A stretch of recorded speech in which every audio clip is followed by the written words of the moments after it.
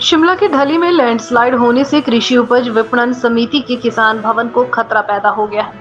Landslide से building के चार पाँच कमरों और डोरमेट्री को भारी नुकसान हुआ है और कमरे के भीतर तक पत्थर पहुँच गए। किसान भवन में पुलिस के जवान भी रात को ठहराए हुए थे। जो सेब सीज़न के लिए शिमला के अलग अलग क्षेत्रों में ट्रैफ़िक रेगुलेट और अन्य व्यवस्थाओं के लिए तैनात किए गए हैं। लैंडस्लाइड में दो गाड़ियों को भारी क्षति पहुँची है।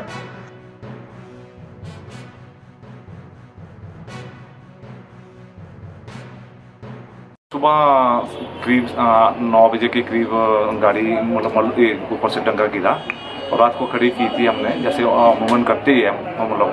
तो सुबह मैं हाईकोर्ट निकल गया था तो मुझे फिर यहाँ पता लगा कि भाई गाड़ी के ऊपर मलबा आ गया है। और काफ़ी मैसेज, लैंडस्लाइड हुआ, जिससे किसान भवन के दो तीन कमरे भी डैमेज हुए हैं। और मेरी गाड़ी तो लगभग दिख ही रही है पूरी टोटल लॉस ही है, ऐसा मालूम हो रहा है। बाकी अब मैंने इंश्योरेंस वालों को बुलाया है। अब देखते हैं क्या हो उसके बारे में बोलेंगे।